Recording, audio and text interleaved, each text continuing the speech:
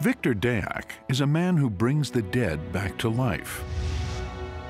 A classically trained sculptor, he helps scientists visualize long extinct pre-human species.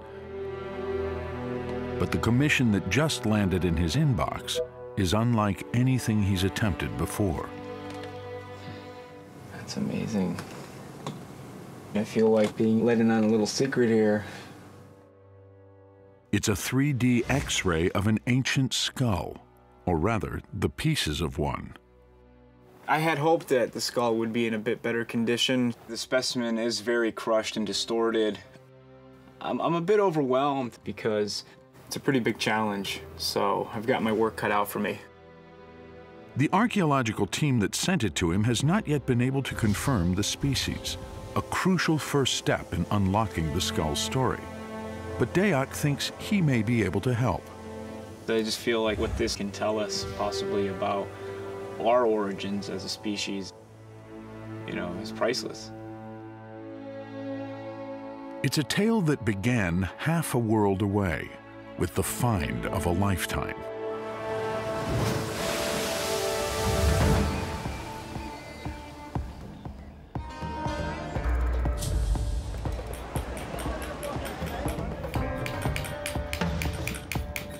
Something happening here.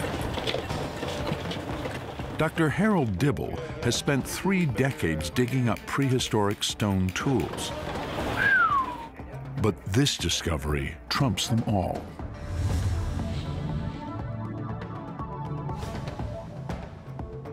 Hey, that looks good, huh?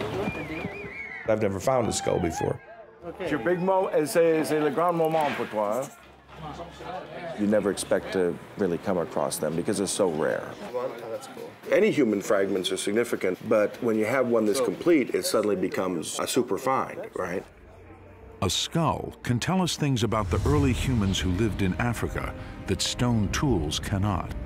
The morphology of the head tells us a lot about the changes that took place in human evolution. We're talking about deposits that are we don't know exactly yet, but perhaps 100,000 years old or slightly older. So it is, it is something quite major. Determining the exact date of the skull is an elaborate process. You see all these holes here, and those are all from samples that we've taken to try and date the sediment in each of these different layers. Each layer is analyzed using a technique called optically stimulated luminescence which measures the last time the soil was hit by sunlight. And what we've dated is actually the, the quartz grains in this beach sand. As the quartz grains were buried in darkness, their unique structure began accumulating loose electrons. Counting the electrons reveals how long the layer, and any bones or artifacts within it, was buried. And that's how we know that the skull dates to about 108, 110,000 years ago. Um, uh, that is to say, the time period around the origins of modern human culture. From a scientific point of view, when we say it's around 100,000 years old, that's really the, the major thing.